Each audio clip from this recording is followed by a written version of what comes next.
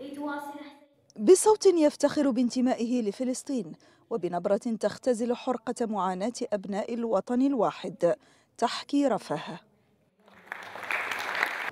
حقيقة أشعر بالفخر لأني أمثل بلد فلسطين في هذه التظاهرات هذه هذا المكان.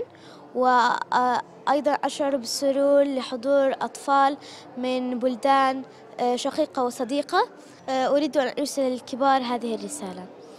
آه، رسالتي هي آه، إيقاف هذه الحرب إنهائها لكي يعيش النساء والأطفال حياة سعيدة.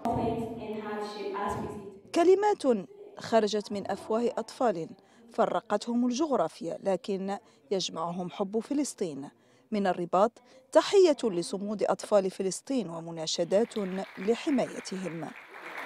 رسالتي للأطفال الصغار بفلسطين يج- يصبروا ويزيدوا من الصبر لأن هذه مسألة وقت.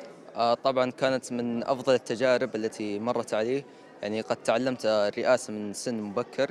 وأيضا آه، كان هدفنا أن نصل آه، نرسل رسالة للعالم بأكمله عن تضامننا حول مع فلسطين. وأيضا لأطفال فلسطين تضامننا معهم. تجمع تربوي لأطفال من جنسيات مختلفة يحاكي القمة الإسلامية للطفولة من أجل القدس المنعقدة أياما قبل انطلاق أشغال القمة الخامسة عشر لمنظمة التعاون الإسلامي. آه، ما يعيشه الأطفال الفلسطينيون آه، كان موضوعا آه، تداول تداوله حوالي 15 جنسية من دول منظمة التعاون الإسلامي بالإضافة إلى أربع مراقبين يمثلون أمريكا الشمالية وأوروبا. آه، أوضاع الطفولة الفلسطينية أوضاع مقلقة جدا. هذا التمرين التربوي مهم جدا بالنسبة لوكالة بيت مال القدس الشريف. تستثمر ما يتجمع لدى الأطفال من قناعات ومن اقتراحات أيضا لتجود مشاريعها. قمة رمزية بأبعاد كونية والهدف إشراك ناشئة العالم في وضع تصوراتها لما يجري حولها من أحداث تهم السلام والأمن والاستقرار.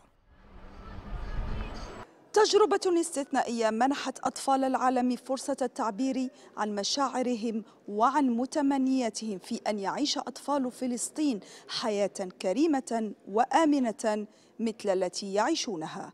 فدور مرابطي. قناة الغد. الرباط.